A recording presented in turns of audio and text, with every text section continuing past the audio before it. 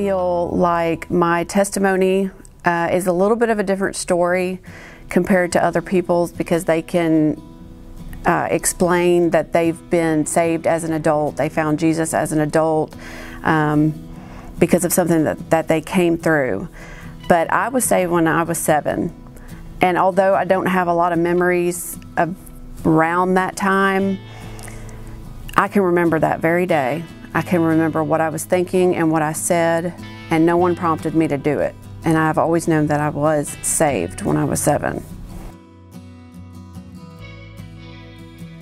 Um, my parents were divorced when I was 12 years old, and it had been a very long battle.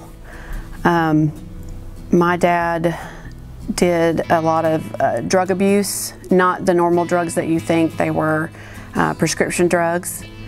And I don't have a whole lot, other than a handful of memories, I don't have a whole lot of memories from my childhood that were good with my father. Um, my dad, he, I would come downstairs or around the corner and, and worry every time if I was going to see him with you know, his face in his cereal bowl or the way he looked when he was in that high. Um, so my parents divorced when I was 12 and things were very, very difficult and a lot of people at our church got us through, you know, helping with money. We never knew where groceries were going to come from, but my mother was a big tither and she always said that if she were to if she was going to tithe, God would provide that money. Um, we were able to keep our house. We have no clue how we got through that. Um, when I was 18 years old, my father had gotten clean. He lived on the he lived on the streets. He slept on park benches for six years until he found Calvary Baptist Mission, and they let him live there for you know the remainder of the time that he was away. Uh, my dad would walk from downtown to our house in Olive Branch to see me. Um, there was never a doubt in my mind that he loved me. Um, but the drug abuse I felt was mental abuse. And when I was 18, my parents got back together. My dad moved back in, um, but I still always worried about seeing him high. From the time that I was nine years old up, up through high school, towards the end of high school, I was bullied horribly by kids. Every grade, every year, um, people would throw spitballs in my hair. They would call me horrible names. There were girls that would follow me around in the hallway every day. That's like that was what they had planned, um, and call me horrible names, obscene names. There were several times where I people tried to drag me off and beat me up. Um, and, and as a result, I began cutting myself. Well, people who do that are not crazy. It is you internalize all these things that you're going through, um, and when you cut yourself, it's like it's physically letting go of the pressure. Um, I would have cuts from my wrist to my elbows and my legs. Um, well, once I got out of high school, I started, uh, which is, you know, my senior year of high school is when it when the bullying ended, and when I was 17, I began sleeping around. Um, I thought that if I was going to sleep with a man, that he was going to want me he was going to want to have a relationship with me and love me. Um, and that was not true at all. And I regret what I did, but I can't hold on to it because God still blessed me with an amazing end to that. So um, I got real deep into staying out all hours, drinking, going to clubs. Um, I tried different drugs. The main thing that I did the most really was smoke weed. Um, it was also, it was pretty much a social thing for me. Um, but I think, like all people who are in those shoes, I wanted to try something bigger. And one night I decided that I was going to try cocaine. And I OD'd. It was horrible. And I knew that that was God, you know, screaming at me. Of course, I still didn't listen after that. I never tried cocaine or anything bigger again. Um, but and in the midst of all of this, I I reconnected with an old friend of the family, and he was someone that I'd had a crush on since I was 12 years old. Um, two weeks later, he proposed. Um, and of course, I said yes, and I was 19 at this time. Um, he had MS, and he had been through hip replacements. He was in a lot of pain. He was on a lot of drugs, and he was seeking drugs outside of the, what he was being prescribed. So we broke up for a little while because I didn't want to be part of that. And the night after we got, or the day after we got back together, um, I was sitting over at his house working on something and I realized that I hadn't, he was still back in the bathroom. I hadn't seen him for a long time. And so I went back there and the door was locked and I looked underneath the door and I could see him on the floor. Um, about that time, his mom got there, and we managed to get the door open, and he was blue. Um, we I called 911. They could not revive him, but they took him to the hospital anyway, trying to repeatedly revive him, um, and they couldn't. So his death is really what set off my depression. Um, the depression from losing my fiance really just plunged me into the deep end. Um, when you're any for anybody who has suffered from depression, you understand that when you're down there, there is no light. And there is no hope that any light will ever come or that you will ever get out of it. Um, I became very suicidal and that was my first admittance, admittance to the hospital. I was admitted to Lakeside um, Hospital for people with these issues. Of course, back then they didn't really have any programs for targeted for people with depression. So from that point on, I had to start being on prescription medication for that. Um, later on came a diagnosis. I was bipolar 2. There's a one and a two. The one is more severe with the manic episodes, but mine is more severe with the depression. Um, we realized that the chemicals in my brain were no longer, um, you know, producing what they were supposed to be producing, and so I, have had to stay on this medication, and I, I probably will for the rest of my life. Um, that is okay because God gave me that medication to bring me back. And I have, well, after being admitted and after my fiance's death, um, I still continued with the drugs and the alcohol and and the sleeping around. And let me tell you right here that God was always in the back of my mind, nagging, nagging at me. That's what I used to call it. And I, I was always convicted. That's how I know I've always been saved, and that's why it's never been a doubt in my mind. So, not far down the road um, from losing my first fiance, I met my second one. Um, he told me from the beginning that six months prior to when we met, he was an alcoholic. And one night he was driving home drunk and came over a hill and killed two people. He was sentenced to 10 years, but we knew he probably wouldn't serve that long. And, you know, in the beginning, great. And so we broke up.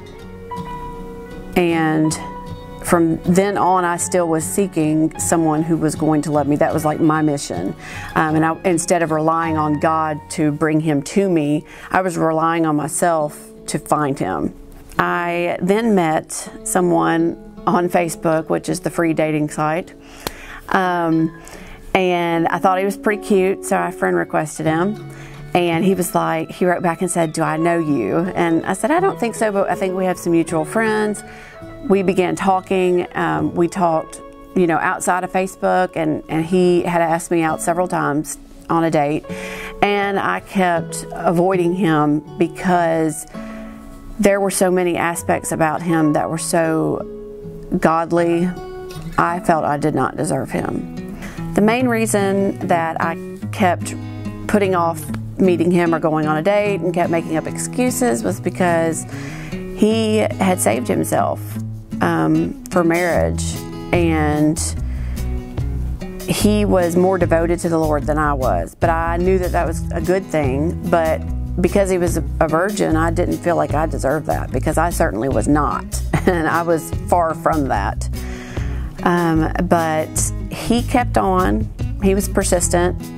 And then he finally decided that he wasn't going to ask anymore, that he was going to wait. And if I contacted him, great. If not, you know, whatever, he was going to move on.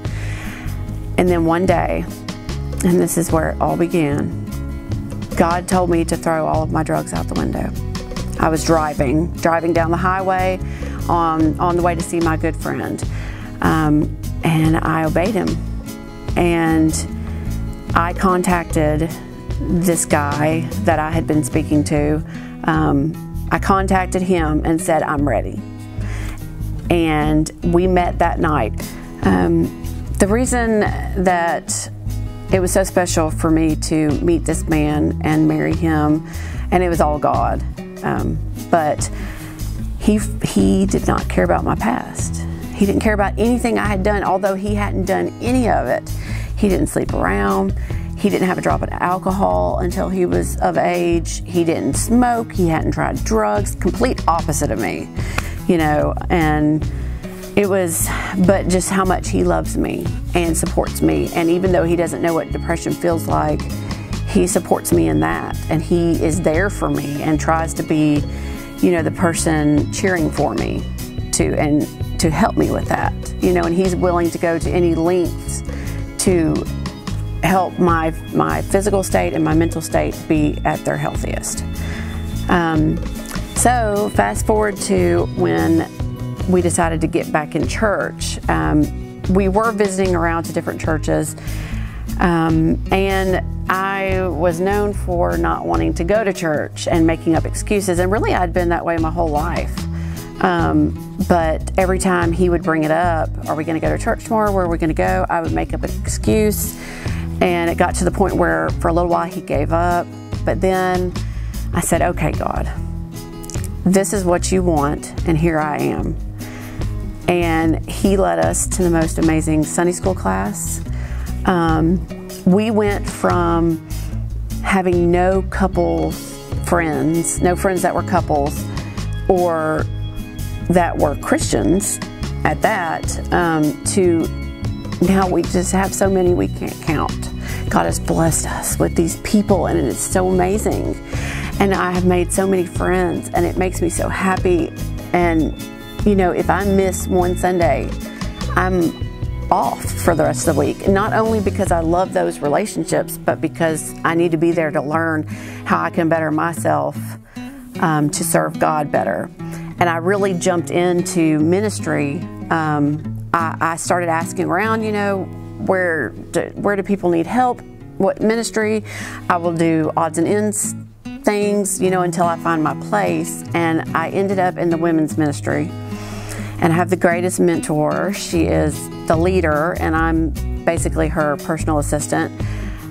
Um, and it started off small with just sending cards in the church, but it has blossomed into something huge.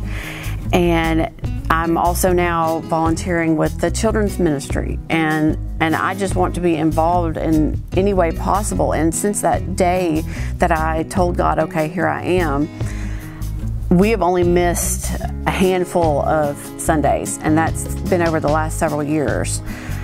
Um, I want to go.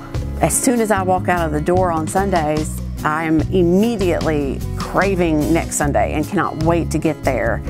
Uh, it, it, just it completes me and i have grown. Oh god, god has taught me so much. And i think the key for me was ministry. Once i got in there and started saying okay god here i am. If this is what you want me to do then i will do it and i will do it with a joyful heart. And that this was just so not me but i have i have now come back and found this world that people had always talked about, but even though I was saved, I never felt it. And I was like, oh, whatever, those people are weird for raising their hands to praise God. And, you know, I would never do that. And I came full circle to where I am now, and I feel Him in everything. If I begin to, if I feel my mind wandering on something it shouldn't, um, I immediately start praying. And I, I don't pray per se. I really have a relation. I have a constant conversation with him all day. I'm constantly talking to him because that's what he wants. He wants me. He doesn't want me to bring some formal prayer to him or to wait until I can figure out how to pray to pray to him. Um, and also, he's helped me a lot with my depression. Yes, I still have to be on medication. Um, and I do believe that that was God. But also, he has taught me, he has, he's kind of helped put me back down in the valley several times. And I believe he's done that because I have found him in those valleys. And I have found out how to fight when I'm in those valleys. I'm going to go through those and I'm going to have the moments where I feel like there's no hope anymore. But I can get through it because for the first time ever, I have been able to say, I will praise you. I will praise you while I'm down here. Um, and I've told the devil constantly out loud to get away from me that he wasn't going to break me. And I was never going to say that this was God's fault or that God wasn't with me or, you know, just turn away from God because of it. And I have grown because of that. Um, I have a son now who is three and I, my husband and I are, are stopping the cycles that we went through with our parents the divorce, um, the not being taken to church. And we are doing this for my son. And my son now, he, every day, he's like, Is today the day we go to church? And that just melts my heart that my son says that, says that to me. The other day when I was subbing for Mother's Day out, um, my son was in my class and we were doing lunch. And I had given him his lunch and then went to help some of the other kids. And when I came back around the table, I was like, what is he doing? Did he drop something on the floor? I soon realized that he had his hands like this and he was doing this with his eyes closed, praying. My three year old. Um, nothing warms my heart more than that. I am Chelsea Whitten, and His grace is more than enough.